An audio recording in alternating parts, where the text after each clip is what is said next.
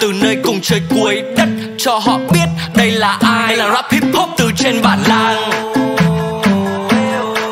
Có công mài sắt. Có ngay nên khi anh sống ở trên bản rap trên bản. Có mấy thằng bạn hip hop trên bản làm anh quên nản sống đơn giản quan điểm sống là bất thù thêm bạn người miền núi chất. Vâng, xin kính chào các anh em. Em đã trở lại và lợi hại hơn xưa cùng vòng quay giờ vàng tuần mới. Tuần trước có anh. Quà mới phải gọi là xà láng luôn Vâng, em xin nhắc lại Cứ quay là có quà, cứ quay là có quà Vâng, đừng chần chờ gì nữa, cứ quay là có quà Chỉ cần anh em đăng nhập cho em vào khung giờ vàng 17 giờ đến 21 giờ hàng ngày sẽ nhận được huy hiệu giờ vàng tuần này cùng với quà mới là thẻ thử nhân vật 24 giờ và thẻ thử trợ thủ 24 giờ. Vâng, bao nhiêu giờ ạ? 24 giờ. Bao nhiêu giờ ạ? 24 giờ.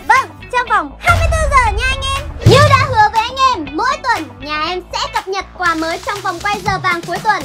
Và đó chính là free trang phục nam lần đầu xuất hiện.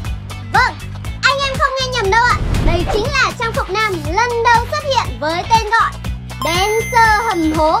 Nhìn chiếc áo, chiếc quần và chiếc mũ này phải gọi là Hip Hop Never Die.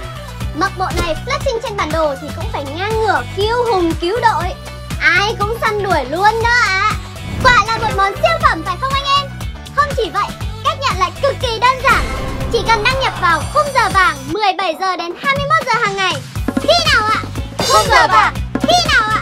Khung giờ vàng. Vâng, chỉ cần đăng nhập hàng ngày vào khung giờ vàng là anh em nhận được huy hiệu giờ vàng để quay được trang phục này. Quá đã! Ngoài ra thì còn tin vui nữa cho các anh em chưa kịp sở hữu qua tuần trước. Thì trong vòng quay tuần này những vật phẩm này sẽ tiếp tục quay lại bao gồm hành động cao gối hôm sắc hồ vàng.